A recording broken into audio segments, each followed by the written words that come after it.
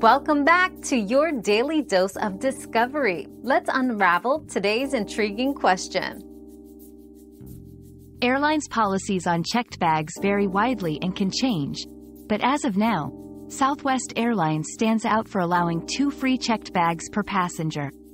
Other airlines might offer this benefit, but it often depends on the fare class purchased, the route, or the passenger's loyalty program status.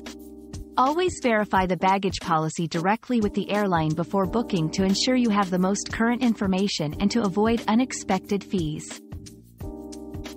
Your daily dose of discovery ends here, but the journey of learning never stops. Subscribe and join us again for more answers tomorrow.